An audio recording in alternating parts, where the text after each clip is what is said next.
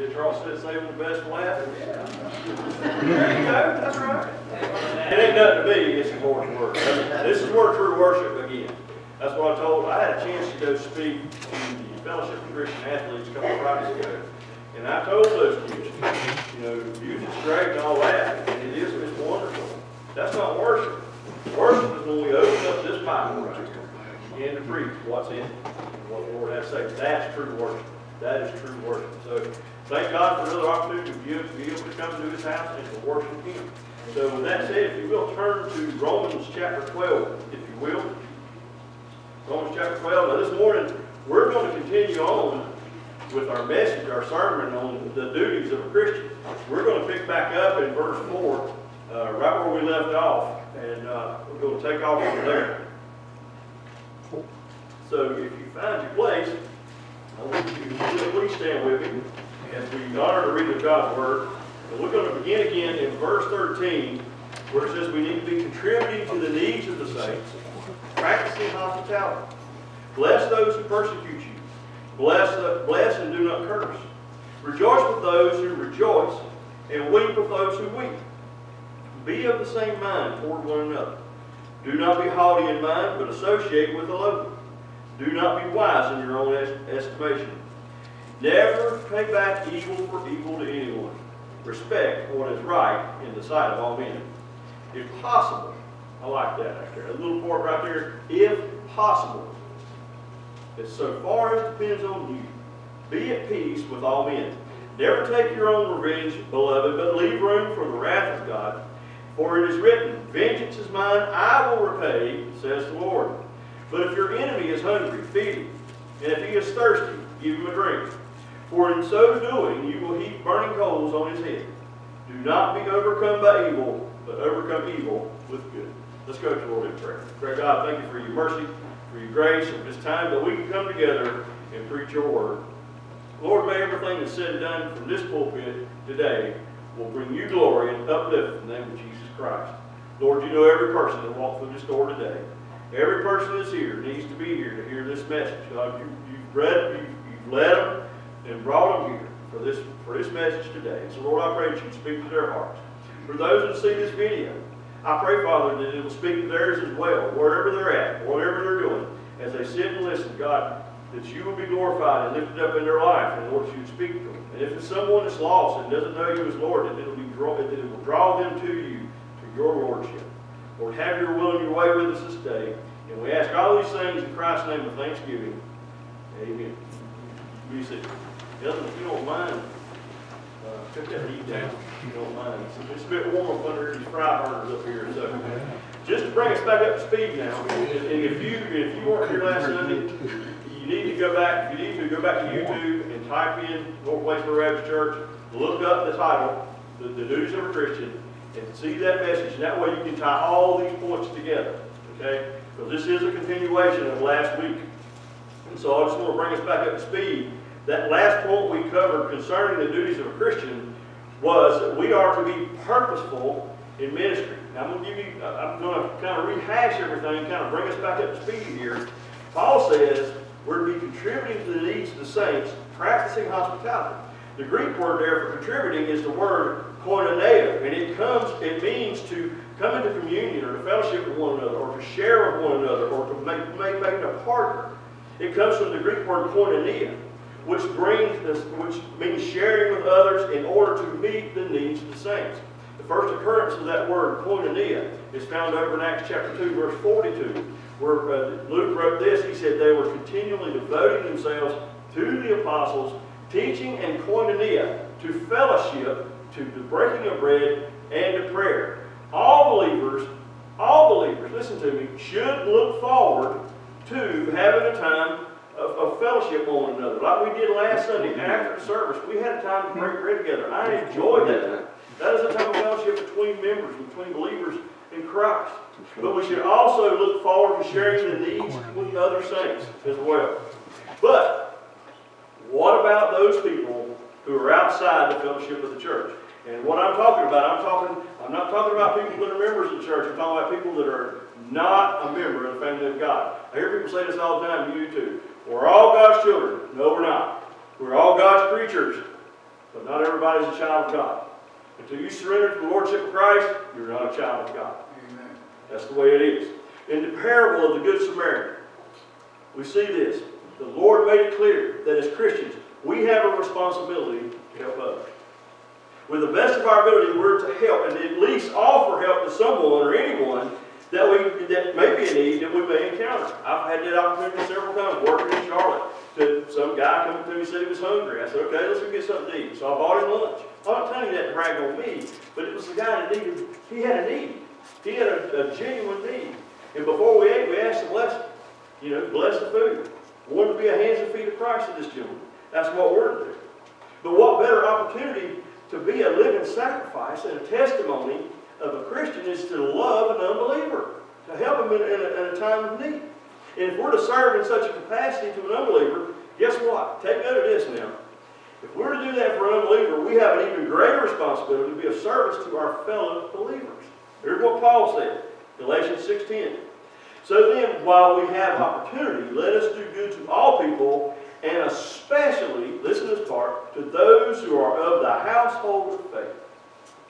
Paul says right here in our text, we're to be practicing hospitality. Metaphorically speaking, practicing means to pursue, to eagerly seek for those who are in desperate need to be ministered to. And the idea here is to purposely run and find these people to show them kindness. The Greek word for hospitality is the word philoxenia. It's a compound word. The phileo means brotherly love, and then the word xenia means strangers. And you know about the word xenophobia means to be afraid of strangers, to have a fear of strangers. This is the total opposite. We're to look for these people. We're to love the stranger. The idea here is to be the hands and feet and the mouth of Christ. We're to philoxenia. We're to show them hospitality and kindness. April 30th this year. I know Alvin went to the meeting, and I believe Libby was at the meeting. April 30th, they, they dubbed it the Love Answer. They've done this last year. We are going to have to, what it is that they want to reach out, some sort of outreach ministry that day. It's kind of like a mass, massive outreach on that one day. Okay?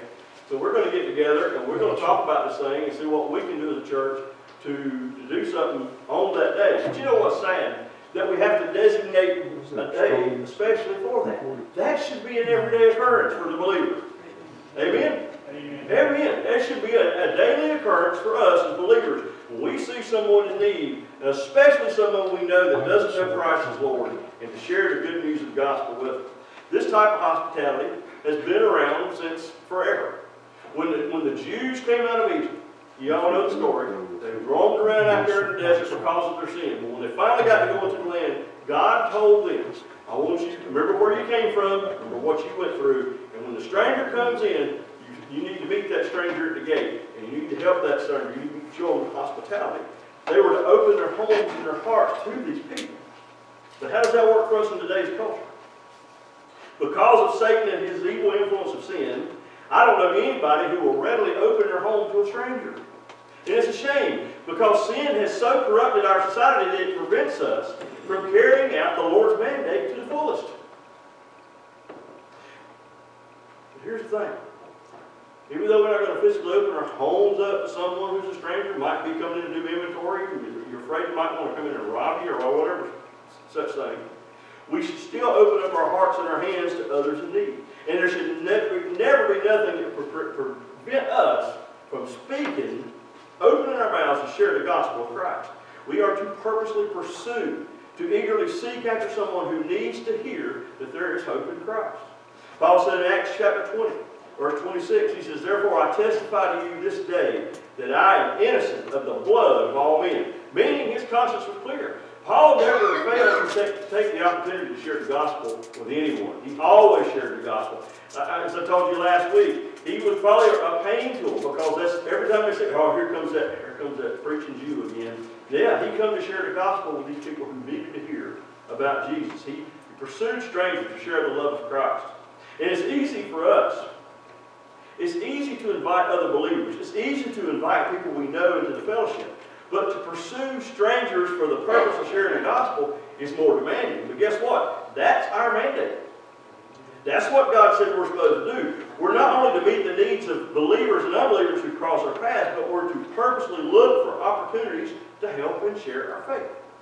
Hebrews 13, 2 says, Do not neglect to show hospitality to strangers, for this, for by this some have entertained angels without knowing. And of course, 1 Peter 4, 8 through 9, above all, keep fervent in your love for one another, because love covers a multitude of sins. Be hospitable to one another without complaint. But here's another sad truth. As noble and as pure as our intentions may be, because of sin's corruption, there will be those times when we're going to be head on with people that are very unwelcoming and just downright hateful and have a bad attitude. It's going to happen. And it's times like that when it's real easy for just for us to, you know, just give up. What's the point? Why should I do that? All I'm going to be is all I'm going to do is meet negativity or a bad response. The worse than that, those are times when we allow our old man to resurrect long enough to strike back. Remember what Bunk said about having a filter? That's right, Bunk. We gotta have a filter. A lot of times. This is exactly what the enemy wants us to do. He wants us to lash back out. Who in here besides the preacher is guilty of striking back? Every hand well, I said a few hands. Some of y'all ain't quite as honest with it as everybody else. I, but I get it. But you, you might be saying, well, Donnie, that's human nature. I mean, we respond negatively to hateful people when they respond negatively to us, or, or purposely speak ill of us or our character, we're going to respond back. No, that's not human nature. God didn't create us to be that way. He created us in His image. That's our sin nature. And that's our sin nature giving our old man mouth-to-mouth resuscitation to resurrect for those moments of retaliation. And I believe there are some people who purposely keep their old man on life support. yeah. Because they're looking for that opportunity. I was sharing with a fellow one time, uh, here just a week or two ago, back in the BC days, I knew this guy named Rob. Yeah, I can't remember Rob's last name. Rob was from West Virginia. Rob was about this tall, built like a fire plug, and he was one of those guys who loved to go out on Friday and Saturday night and look for a fight. This, the moment somebody said something, he's, oh, there it is. And he was excited about it because he wanted to fight. Well, there are people like that in the church that wear their feelings on their sleeve. They wear their heart on their shoulder. They, they are so easily offended, and they look for that opportunity to lash out and to lash back. That, folks, that's not the way it's supposed to be. It shouldn't be that way. Paul said in 2 Corinthians 5.17, Therefore, if anyone is in Christ, he is a new creature. The old things passed away. Behold, new things have come. Look, the plug has been pulled on the old man. Don't plug him back up. Leave him lifeless and let Christ live his life through you. Now here's where I'm going with all this. As purposeful as we are to be in pursuit of contributing to the needs of the saints and practicing, practicing hospitality, we're to be just as purposeful when it comes to blessing those who despise us. Look at verse 14. Paul says, Bless those who persecute you. I'm going to read this again. Bless and do not curse. Bless those who persecute you. Bless and do not curse. I want you to understand what he's saying here. This, he wasn't calling for us to bless those who occasionally insult us. Okay? It goes a lot deeper than that. A lot deeper than that. To truly bless those who persecute us is to treat them as if they're our friends. That hurts, don't it? Boy, that, that just don't that does not say well, does it? Well, listen, I'm gonna tell you what, it's not impossible. It's not impossible. Do you realize when Paul penned these words, he was under verbal and physical persecution? His whole entire ministry, he was verbally assaulted, he was physically assaulted, and yet he purposely went to these people seeking them out, and he said this, bless those who persecute you. Bless and do not curse. We've all been insulted. Every one of us in here has been insulted. We've had people say hateful things about us. But there's not one soul in this room, and there's not one soul that's going to see this video that has ever faced the type of persecution that Jesus and Paul faced. So don't tell me that we can't bless someone who looks sideways at us or, or says something ugly about us. Because we can, and we must. If we don't, we'll be guilty of grieving the Holy Spirit. How do you grieve the Holy Spirit? By not allowing Him to reveal Himself through us in the way that He wants to, through our words, our actions, and through our attitudes. Or when we just flat out don't do, when we do what we know is wrong, we grieve the Holy Spirit. But here's where I had to stop and do some repenting of my own. There are several people that I know that have a personal dislike for me for one reason or another. I know y'all find it hard to believe. But, but there are. There are. There's one in particular, uh, this one person, I have no clue why they're mad at me because they won't tell me. They won't reconcile. They don't want to reconcile. They would rather hang on to that bitterness than reconcile. Have I prayed for these people? Yes, I have. But, listen to me, I didn't pray, Lord, bless them. I prayed, Lord, break them. Now, that's, that's a good prayer, but that's not what Paul said to do. He said, pray to bless them. Pray to bless them. R.C. Sproul said this. He said, Paul's response to persecution was to bless his enemies, not to curse them. Refraining from cursing our enemies is not too difficult, but to bless them, to pray God, to pray that God would bestow upon them His favor and grace is much harder. Doing so is tough, but it is what love means. Distinctive Christian love seeks to bless those who do terrible things to us. They do, they do, they do us harm. And when we are purposeful in seeking to carry out our duties as Christians, we'll find that those duties will also include becoming partakers. That's our next point. Partakers with those whom the Lord has brought into our lives, whether they be friend or whether they be foe. Look at verse 15. Here's where we have one, we have one verse here that has two different actions taking place, two different attitudes, and I'm going to look at them separately. First, rejoice with those who rejoice. Now, when you first read this, it seems simple enough to understand and to follow, but I want y'all to consider these examples. Perhaps a friend or a fellow believer, someone you know, gets a promotion or a reward that we thought we should have gotten, that we should have received that. And maybe they got this promotion or blessing, and maybe they received it at our expense. Or their accomplishment made ours look less than average. Think about that for a second. How would we respond?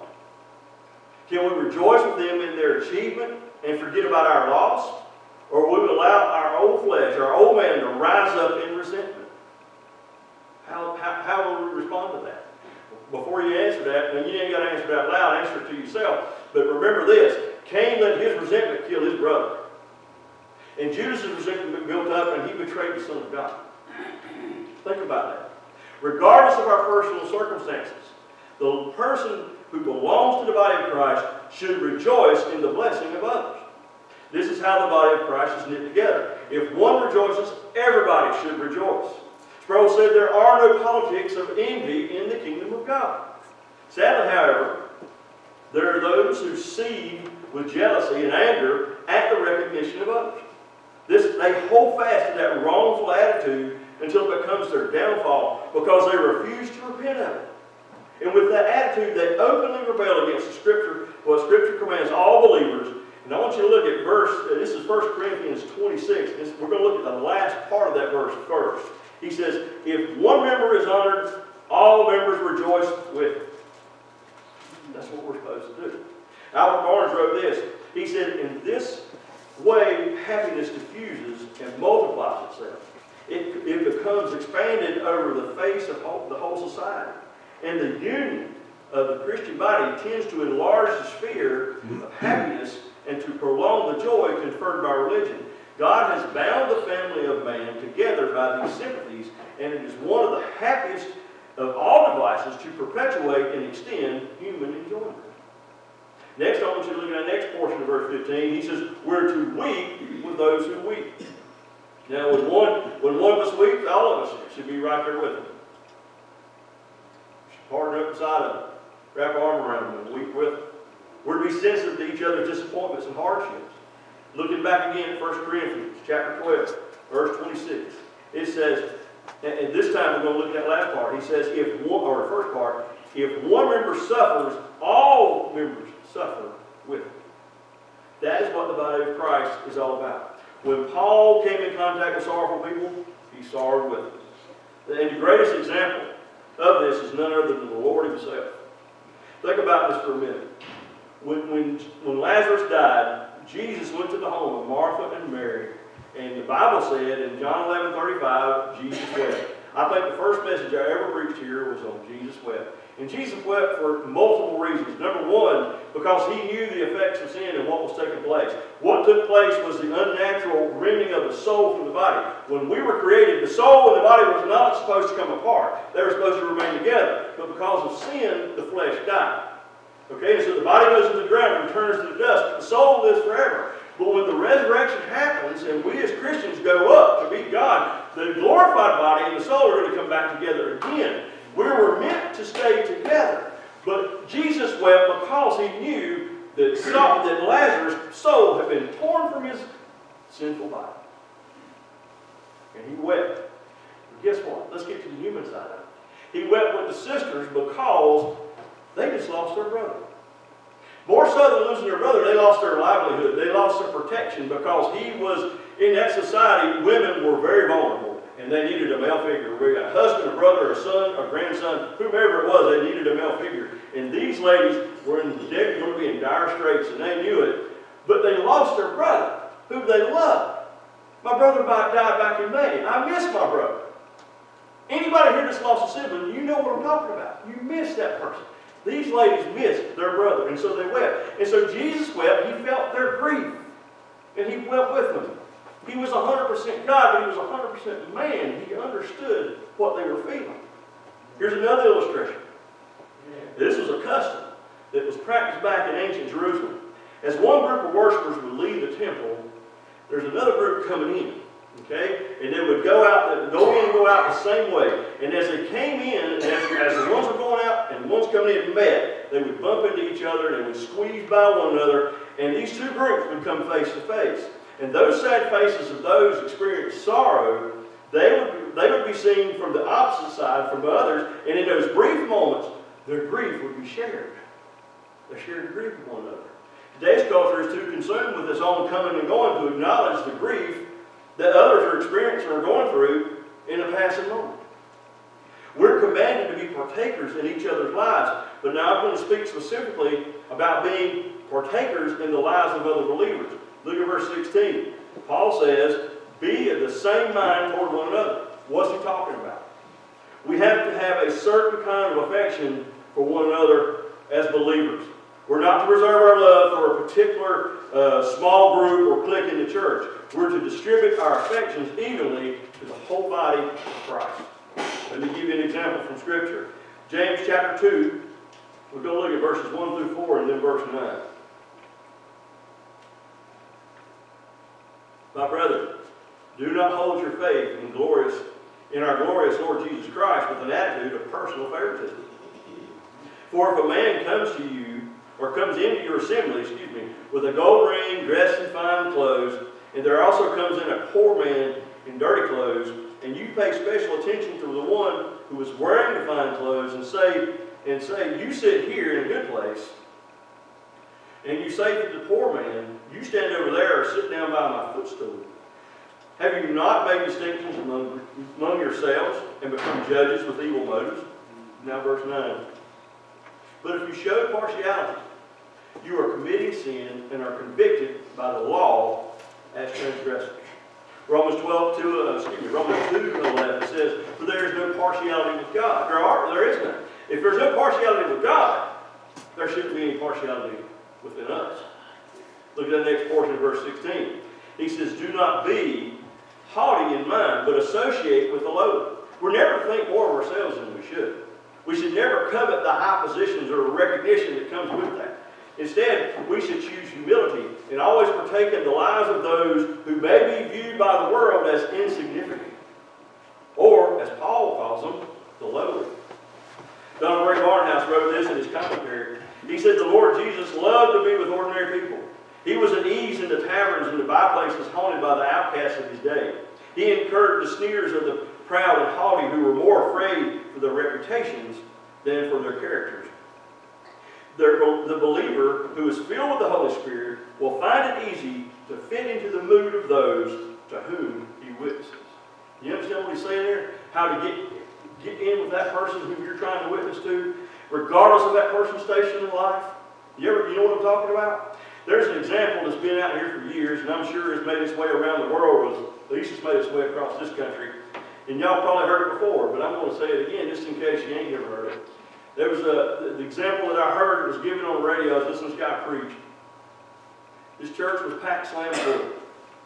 Packed slam full. Wall to wall people, nowhere to sit, big revival going on, big fancy church, everybody in there dressed to the nines, everybody's in there at the church. And the door opens up, and this young man comes in, and he's wearing a pair of jeans and a dirty t-shirt, and he's looking for a place to sit down, but ain't nobody sliding over letting him sit down. So he walks all the way up here to the front, and he sits down on the floor, and leans back, leans back against the wall, and listens to preaching. All of a sudden, this old elderly gentleman who was sitting on the front row, probably an officer in the church, gets up, walks over to him. People probably thinking, well, he's going to throw him out. No, the old man got down there and sat down on the floor with him. Do you understand what that means? He, he, he put himself where he was at. So that the young man would not feel by himself. Another of our duties as Christians, we're to keep a humble and godly perspective. That's our next point. At the end of verse 16, it says, Do not be wise in your own estimation. This is a quotation from Proverbs 33 7 that says, Do not be wise in your own eyes. Isaiah 5.21 also warns, he says, Woe to those who are wise in their own eyes and clever in their own sight. In other words, don't be conceited and self-promoting because this almost always leads to unfavorable consequences. Men who puff themselves up, listen to me, men who puff themselves up generally spoil their usefulness because once they think they know it all, you can't tell them anything. Once they've begun to know it all, they reject all counsel, they reject all advice, their behavior will turn into arrogance and rudeness and completely lacking of any grace whatsoever. This will then render them ineffective for reaching the lost of Christ because the only people that they will associate with are people who think just like them.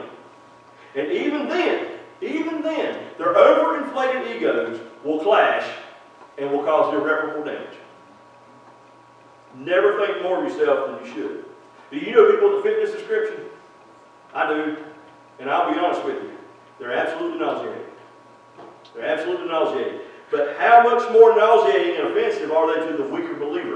How much, or worse, how much more nauseating and offensive are they to the people who live outside the family of God? Those are the ones that are going to be hurt. Those are the ones that are going to be hard to reach because they have come in contact. They've had the unfortunate displeasure of coming in contact with this person who thinks they're wise in their own estimation.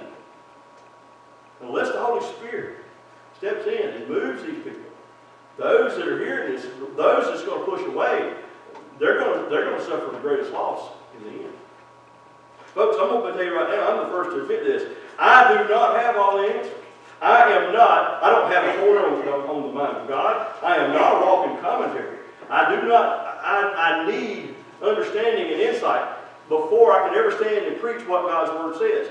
I come to, I read the Scripture, I pray and I ask God for discernment, and I depend on the leadership of the Holy Spirit to speak to my heart and help me get where I'm going. But I am not foolish enough to not believe that I believe my own press. Here's what I do. I start to research, and I look at some of the greatest minds in the history of the church, see what they have to say about that passage that I'm trying to prepare. These guys that, that like to say, you know, I, I go up and I depend on the Holy Spirit to speak to me and, and I'll do whatever He says at, at that moment. I want to say, ain't no wonder your teaching is so shallow. Listen, here's what the Bible tells us. 2 Timothy 2.15 Be diligent to present yourselves approved to God is a workman who does not need to be ashamed. And listen to these two words here. Accurately handling the word of truth. The Greek word there for accurately handling is orthotomeo. And figuratively speaking, it means to dissect or expound correctly what the divine message is trying to say. I, I would be a foolish man to come here and tell you I have every answer in my mind of what this is saying. I, I do not. I have to study it. I have to pray over it. I have to, and I look at guys who are a lot smarter than me and to see if what I'm thinking agrees with what they're thinking. R.C. Sproul said this. He said, the preacher who stands in the pulpit should study the text of Scripture diligently and examine as much as possible the original languages in an effort to get an accurate understanding of the text. If he relies solely on his own intellect, listen to this, he is doomed. And if I may add to that, so is everyone else who sits under his shallow and erroneous teaching. I never ever want to be that guy. I never ever want to be that guy. I never want to be that guy that mishandles the Word of God or misleads one of his children. I never want to be to get up to the point that I think that I am wise in my own estimation and that I am receiving counsel. I don't need to receive counsel from anyone else. I don't ever, I don't never want to be that guy. Next, concerning the duties of a Christian, we're to live peaceful lives. Look at verse 17. Never pay back evil for evil to anyone. Now, this is really a reiteration of, of verse 14. Now, we're to, to not only ask the Lord to bless our persecutors and not curse them, but we're to never strike back in retaliation. Now, this, this is tough right here. This, this really is. Because our natural response, our first response, is to lash out, is to, is to cause harm. In today's vernacular, we would say it's payback time. And what goes around comes around. We say we want to get even. We do. We say we want to get even, but the truth is we want to go one up. We want to do more than they did. We want to hurt them more. Paul says that such a human disposition, you know, which reigns, that reigns in the human heart, is a manifestation of corruption and an example of moral evil. But doesn't the Old Testament Scripture say an eye for an eye tooth for two? It does, in several places. Exodus chapter 21, 24, Leviticus 24, 20, Deuteronomy 19, 21, and the Lord himself even preached on it in Matthew 5, 38 through 45. But what they preached on, you take, people take it out of context. What he preached on was civil justice. This is what it's talking about. To making sure that the punishment that is administered to the, is properly administered to the crime. It has nothing to do with personal revenge. In Romans 13, 4, Paul declares that civil authority is a minister of God to you for good. But if you do what is evil, be afraid, for it does not bear the sword for nothing, for it is, it is a minister of God, an avenger who brings wrath on the one who practices evil. That's why I do not understand how these thugs today, and I mean, I mean thugs, really thugs, who are out there purposely breaking the law, holler police brutality when they're, they're when they're openly hurting, hurting, even killing them. If you don't want to be if you don't want the law to come down on you, then don't do what's wrong. Do what's right. So if we're victims of someone's sin, even though our flesh wants satisfaction, we can't allow ourselves to pursue payback.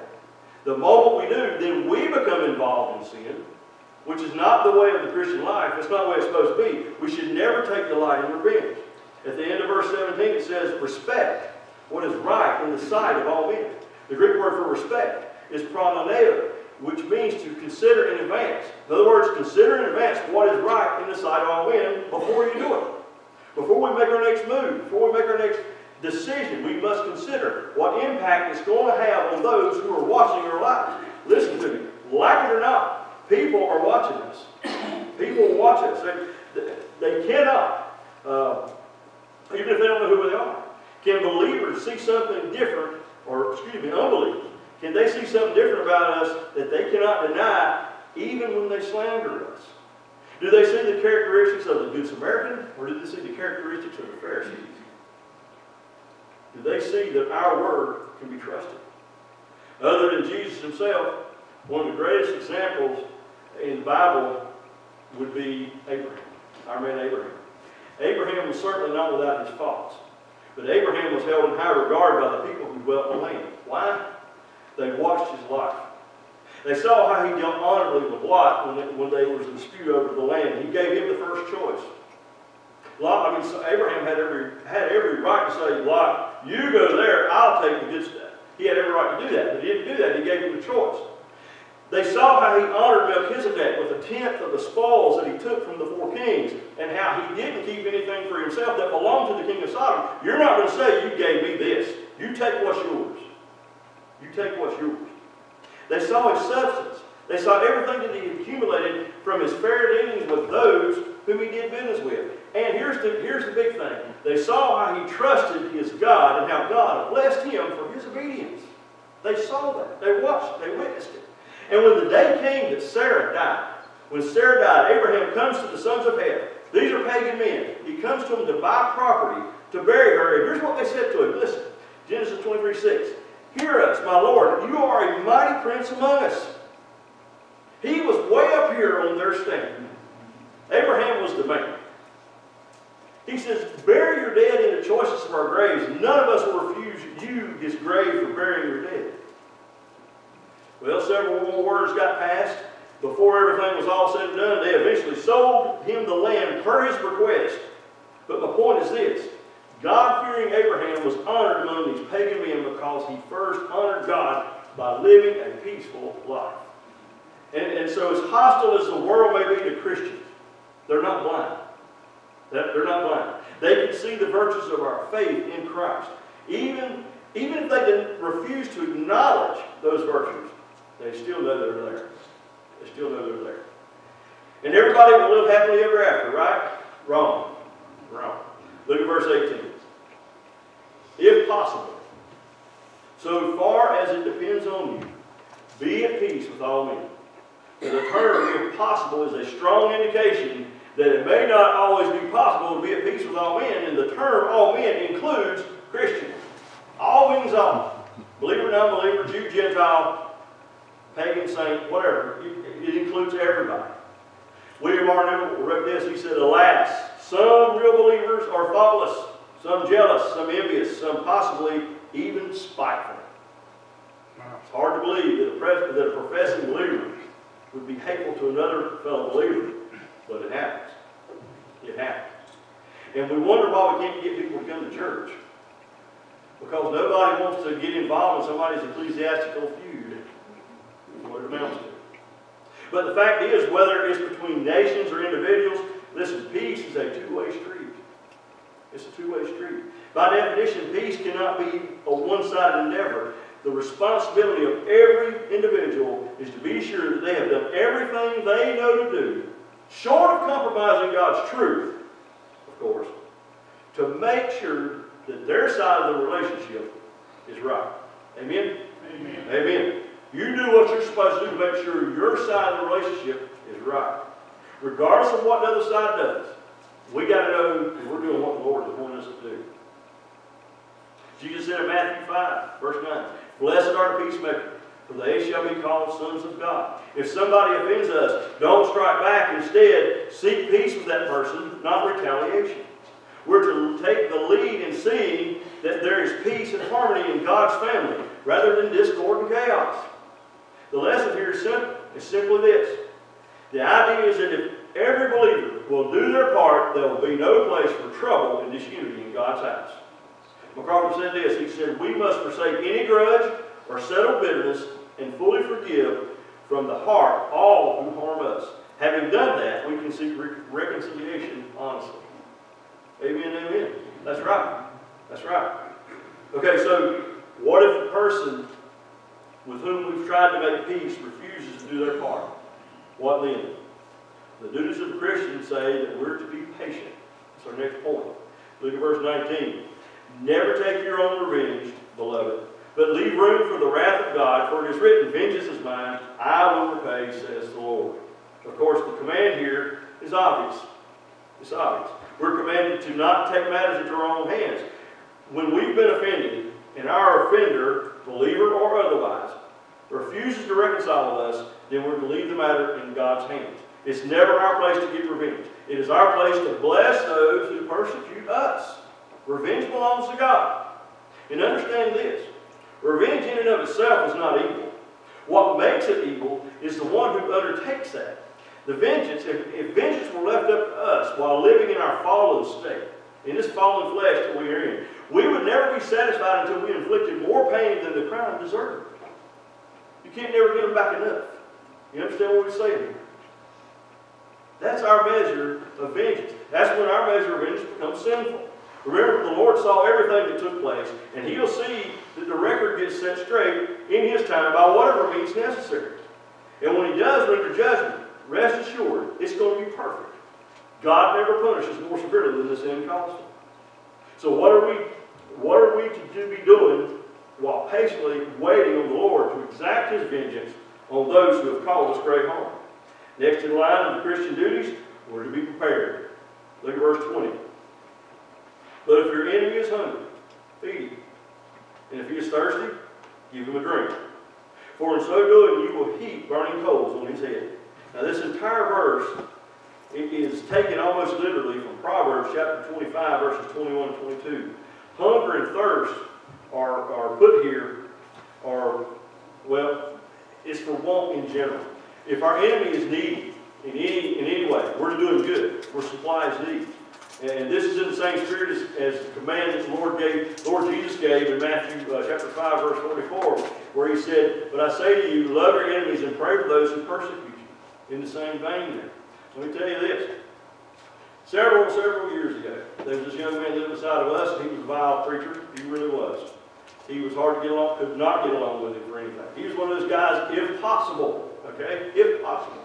He calls my house, Rhonda's gone, the kids are all gone, and she might have been gone to get groceries at, at that point in time.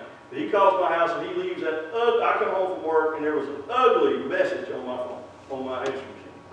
Every kind of curse word you can think about, he called me everything and put a fly with the lid on me, everything he said. It was bad. I'm hungry. Ain't nobody here and I can't get no food and blah, blah, blah. It just, it just got bad. So what did I do? I went down with a baseball bat and beat him to. No, that's not what I did. Here's what I did. Again, she's going to get groceries, okay? We had a half a loaf of bread, had some bologna in the refrigerator, and a half a jar of mayonnaise. I scooped it up, put it in the bag, walked down there to him, and when he opened the door, his eyes got that great big round. He didn't expect to see me come there. Now, in my flesh, I wanted to go in there and punch him in the face. I did. I'll be honest with you. I mean, I, wanted to knock the guy out for saying stuff like that. What if my family would have been home and heard that mess on the answer machine? But here's what I did. I handed him, I said, look, you hungry? I got you something right here. I said, this is all I got. She's going to get groceries. This is all I have. Well, Donnie, that's okay. I said, no, no, no. You said you was hungry. I want you to have this. You keep this. And you eat it. In good health. And I turned and walked away. That's what I did. That's how we're to respond. As hard as it is to do that, and trust me, people, I'm telling you, it was hard to do that. But I did that. Because that's what the Lord impressed upon my heart. That's what I'm supposed to do. Did I ever reach the point for Christ? No, I did not. He is an individual that is difficult, very difficult. Don't worry it is today. Hopefully, hopefully something took place. Hopefully there was a seed planted and it has germinated and has brought forth good fruit. I hope and pray that's happened. But at that moment, I had to do what the Lord impressed upon me to do, and that was to feed my enemy. So since the Lord promises to deal with the offender and their offense, we're to be prepared. We're to always be prepared to obey His command and to reach out to these folks in love and humility. If they reject our hospitality, well, then that's between them and God because at that point, we've done everything Lord has required for us to do. Rather than be all bummed out over, look here, we must be, we got, we got to be like Jesus who literally blessed his enemies as he died. Do y'all remember what he said in Luke chapter 23, 34? Father, forgive them for they don't know what they're doing. We're never, and listen, we can do that, there is never at any time that we're more Christ-like That is godliness in action. That is Christ living in us for the glory of the Father. So our enemies can't compete with that. As verse 20 says, For in so doing, he will heap burning coals on his head. Coals of fire are no doubt emblematic of pain, right? Coming from an ancient, ancient uh, Egyptian custom, when a person wanted to demonstrate public repentance or remorse, he would carry a pan of hot coals on his head. And this represented the burning pain of his guilt and his shame. So the idea is for us not to call down vengeance on our offender, but to love him and genuinely seek to meet his needs and thereby shame him for his hate. That's what it's for. Albert Barnes wrote this. He said, burning coals heaped on a man's head would be expressive of intense agony. So the apostle says that the effect of doing so, of doing good to an enemy, would be to produce pain. But the pain would result from shame, remorse, of conscience, a conviction of evil of his conduct, and an apprehension of, his, of divine displeasure that may lead to repentance. To do this is not only to perfectly is not only perfectly right, but it is desirable. If a man can be brought to reflection and true repentance, it should be done. It should be done. The way to bring a man to repentance is to do him good. It is on this principle that God continually acts.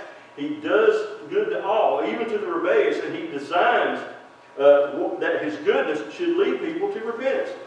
Romans chapter 2, verse 4. Or do you think lightly of the riches of His kindness and tolerance and patience, not knowing that the kindness of God leads to repentance? And so our, the last four duties of a Christian toward our enemy were to be peaceful, patient, prepared, and last of all, were to be pleasant. Look at verse 21. Do not overcome, or excuse me, do not be overcome by evil, and overcome evil with good. Don't allow the evil that has been done to you to overcome you and to overwhelm you. Yeah, I, I understand how it is. Somebody does you wrong, and all you can think about is what they've done to you. You grit your teeth and you want to go get them so bad you can't stand. It happened to me too, with that same vile guy. Prior to the bread and bolognas. But the Lord has impressed upon my heart when He saved me 11 months prior to that. Just trust me. Just trust me. Don't trust you, because if you get within your flesh, Evans, you'll mess everything up. You'll go to jail. Just trust me. And I did. And God moved. Oh my goodness, did God move. God showed up, showed out. It was something else. It was something else. There are people. Listen, I said this earlier. There are people that seemingly look for someone to offend them so that they will have an excuse to express their bitter attitudes. When that happens, be pleasant. Be pleasant by being Christ-like in every situation. We can't always control how people treat us, but we can control how we respond to them. So don't be overcome uh, by our own evil responses. Be pleasant, and the Lord will bless our lives. God blesses obedience. Amen? He does. So how do we measure up alongside of God's Word? If you're like me, there's a whole lot to repent of and a whole lot of adjustments to be made in our lives. You know, if we're going to, if we intend to do everything the Lord has done or has, has saved us to do, then we have to make those adjustments. You'll get no argument out of me that living with other people is hard, and sometimes it is downright exhausting because we're not always able to sync up and live in harmony. We know that. And since I'm not qualified to fix anybody, uh, anybody else, the best I can do is work on me and control me in God's prescribed manner. So today, if you're willing to be honest with yourself, and you know there are matters in your life that need adjusting, right now, you know it. You know it. You don't need me to tell you what they are. You already know what they are. And if you do, you're going to be honest with God. Take this time where you're at right now and come down and take a knee and do business with the Lord. Amen? Because if you do business with God, guess what? That's what's going to eat you up, and it's going to continue working. That's a promise. That's a promise. When you can release, when you can release that bitterness, when you can make those adjustments in your life where you're able to be pleasant to a person who's being hateful to you, you ne- you'll never understand what the, the blessing that that brings until you do. That is an awesome blessing. Amen. Let's go to the Lord in prayer. Great God, thank you for your mercy and grace for allowing us to be here today. Lord, I pray, Father, that everything that's said and done here today is done correctly and in order, that we correctly handle the Word, that we accurately handle your Word today. Because, God, we don't want to get it wrong. We don't never want to get it wrong. Lord, we, we trust in you. We believe in you. We, we rest in you. We trust in your sovereignty. God, I pray that you take this Word and speak to every heart here today. I pray that your will be done in every life that's here today. For those that see this video, I pray, God, will have a monumental effect on them as well. God, may we go out of here understanding this fall of flesh is hard to live in. And this fall of world hard to live in. God, if we put our faith and trust in you and to do what you have prescribed and your word says for us to do, how much better it will be.